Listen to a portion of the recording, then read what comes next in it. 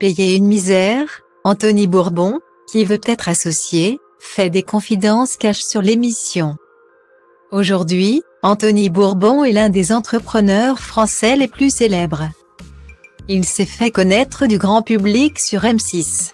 Ce mardi 24 janvier 2023, c'est dans le podcasting Power qu'il s'est confié sur sa participation à l'émission Qui veut être mon associé, qui veut être mon associé C'est l'émission de M6 qui prouve à quel point le monde de l'entreprise peut être complexe et implacable.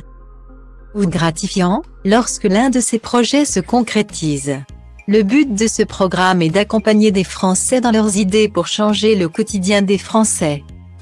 Ils ont l'envie et la motivation, mais manquent parfois de contacts, de conseils et de financement. L'émission leur propose donc de se confronter au regard d'entrepreneurs chevronnés, dont Anthony Bourbon. Le fondateur de FIT connaît la galère, la vraie. Il s'est déjà confié sur son parcours compliqué, je viens d'une famille pauvre. Mon père était contrôleur de train, ma mère était vendeuse. J'étais à la rue quand j'avais 17 ou 18 ans. J'ai vraiment galéré avant de réussir, a-t-il expliqué au micro de RTL. Un passé qui explique peut-être son côté brut de décoffrage.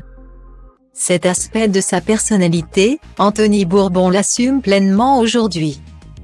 Quitte à choquer les internautes par son comportement.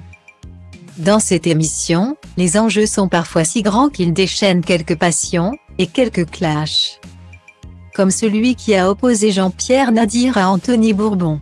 Ce mardi 24 janvier 2023. L'entrepreneur s'est d'ailleurs laissé aller à quelques confidences au sujet du programme dans le podcasting Power. D'abord sur le milieu de la télévision, très filmé, cadré, la première fois que j'ai fait le tournage. L'année dernière, j'étais vraiment interpellé, pas par le côté faux, car les producteurs de Qui veut être mon associé arrivent à retranscrire assez fidèlement ce qui se passe en plateau. Mais tout est très filmé, cadré. Guillaumet. Il affirme toutefois sa confiance à la production, c'est toujours à peu près fait correctement. En revanche, c'est côté salaire que ça coince. Tu es payé une misère pour faire ça. C'est la seule émission où l'on met notre argent, révèle-t-il. Et d'ajouter, ce n'est pas une blague.